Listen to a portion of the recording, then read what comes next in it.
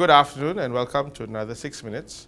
Today we have Dr. Nur Jazlan MP for Pulai and Chairman of the Public Accounts Committee. Dr. Nur Jazlan, um, in the last few weeks, uh, you've had many hearings for the PAC, you raised many matters, and I think in the coming weeks, you're going to bring out a report on KLIA 2. Interestingly, um, some people were quite upset when you said there was elements of uh, wrongdoing, particularly like Felcra, yes. and how, how the board of directors uh, rewarded themselves with bonuses. Do you think this is just the tip of the iceberg, or do you think most of them think that this is business as usual? Well, I think uh, the issues uh, were raised by the Auditor, Auditor General in his report.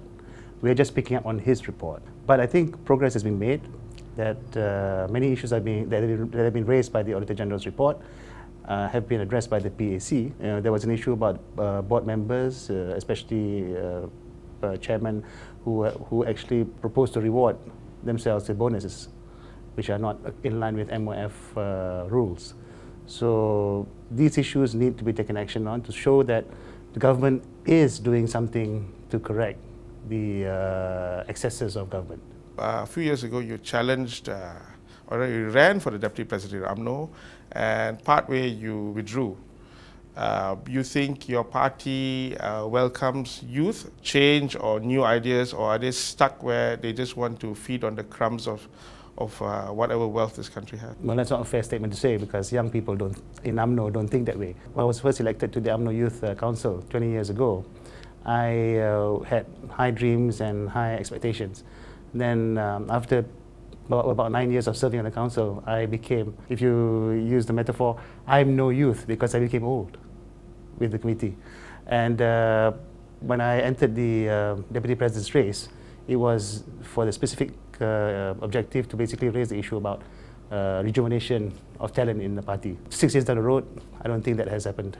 Uh, and then therefore, uh, I don't think the party is serious about putting young people forward.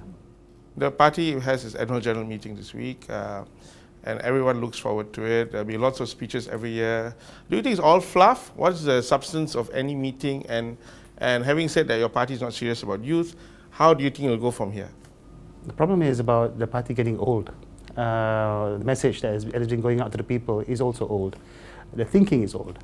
And therefore it doesn't attract the the public uh, as such to the UMNO General Assembly.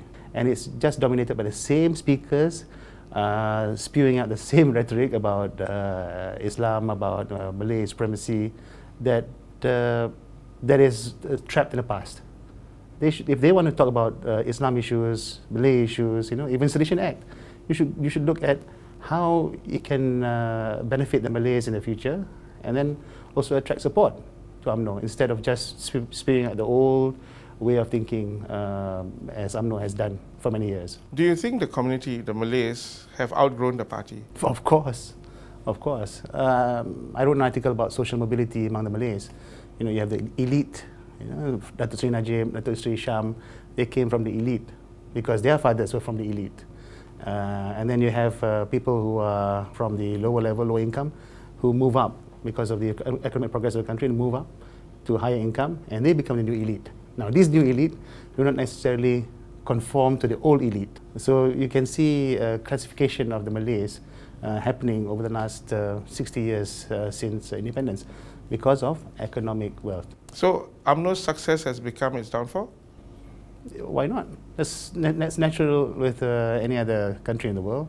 Uh, as the country becomes more developed, people you know, develop their own uh, thinking. they look at the future, they don't look at the past. UMNO is looking at the past, people are looking into the future. So UMNO needs to catch up. You think it's capable with the current leadership or the ones after you coming up within the party? Well, I think it's a bit difficult because uh, the Prime Minister, the President of the party, is trying to form a situation where he is the center of the universe. Today, you don't hear him talking about One Malaysia too much anymore because it's already been um, branded as a failure by, by, by some people. What he needs to do is basically to force the Malays to change. But at the same time, the UMNO Malays may force him to, to be changed. So that's the risk that he carries at the moment. Uh, you know, your, your, your late father actually was very loyal to, doc, uh, to Dr. Mahathir Mohamad. Yes, yes. Uh, he, he made a man who was so unpopular very popular. You think there are any lessons drawn from your father's time? Well, my father, my father took UMNO up from a situation when it, where, where it was in oblivion, it was banned as a party, and then basically to build up uh, UMNO again from scratch was not, a, was not, not an easy task. And that was only 25 years ago. So if uh, UMNO has, had already been uh, rejuvenated from, from ash, and 25 years later, it, it's back in trouble. So there's something wrong about the whole uh, UMNO uh, culture and the whole UMNO uh, structure and strategy because you can't collapse in 25 years.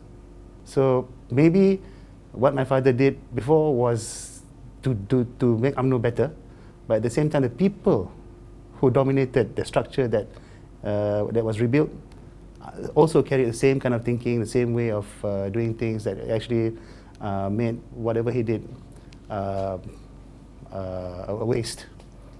So why are you still in UMNO?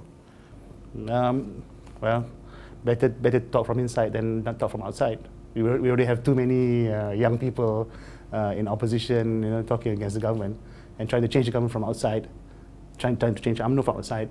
But I think that's not going to work in the next um, few general elections. So better I talk from inside, but with a different kind of thinking, with a future, futuristic kind of thinking, not the past kind of thinking. Okay, thank you very much, Dr. Nur Jazlan. Uh, Dr. Nur Jazlan, MP for Pulai, Public Audit Committee Chairman, and, and a, a man to look out for in the future. Thank you very much.